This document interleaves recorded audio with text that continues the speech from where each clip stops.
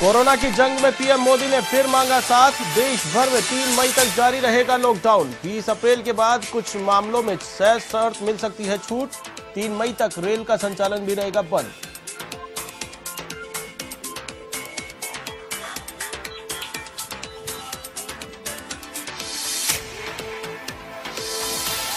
संविधान निर्माता भीमराव अंबेडकर की जयंती आज। राष्ट्रपति रामनाथ कोविंद, प्रधानमंत्री मोदी, राहुल गांधी सहित कई नेताओं ने दी श्रद्धांजलि। लोगों ने घरों में ही मनाई जयंती।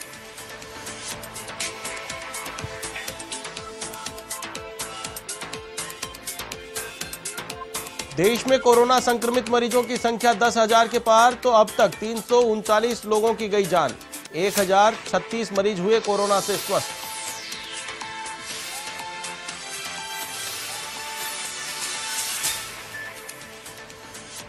कोरोना को लेकर मुख्यमंत्री गहलोत ने की वीडियो कॉन्फ्रेंसिंग, लॉकडाउन को लेकर मंत्रियों और अधिकारियों से की चर्चा। राजस्थान में कैसा होगा लॉकडाउन, शाम को करेंगे ऐलान। 10 लाख मेडिकल किट का भी दिया ऑर्डर।